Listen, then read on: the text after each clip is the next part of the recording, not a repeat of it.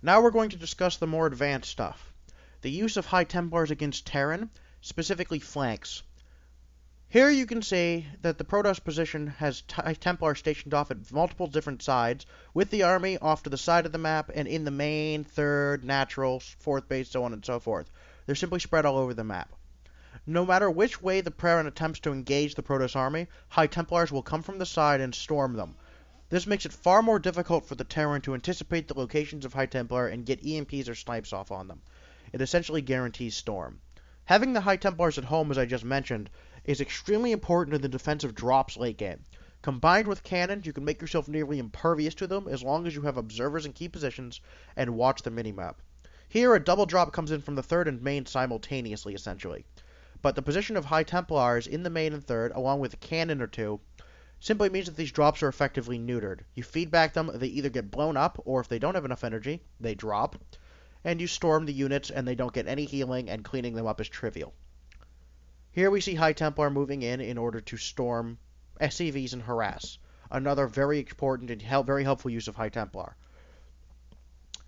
They can be used as harass units, they can be used for defense, they can be used for the main army. High Templar are the most versatile units in this entire matchup and they are very much worth the investment, even though Khaydarin Amulet was once removed from the game.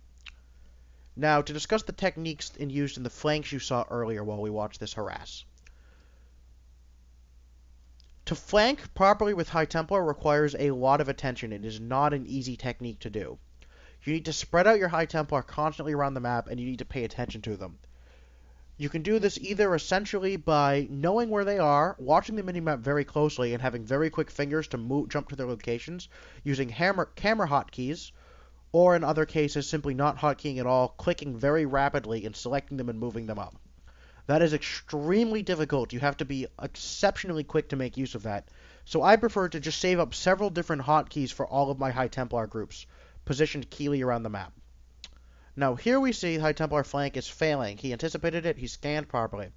So we've put High Templar in a warp prism. We keep position of the Vikings carefully. We move the warp prism in at the side. We anticipate it, we drop it, and we storm from the from the warp prism. Makes it far more difficult to get EMPs because EMPs in the warp prism do not kill the High Templar inside of the warp prism or neuter their energy. Getting a few good storms off on a Terran army can make a huge difference in engagement because the first couple Colossus attacks, even if they were to get almost one or two shot by Vikings, will kill units instead of simply damaging them.